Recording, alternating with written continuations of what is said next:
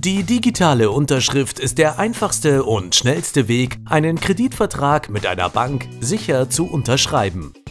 Was Sie dafür benötigen?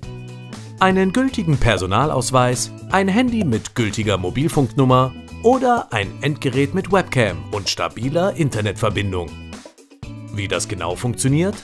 Im ersten Schritt weisen Sie in einem Videotelefonat Ihre Identität nach.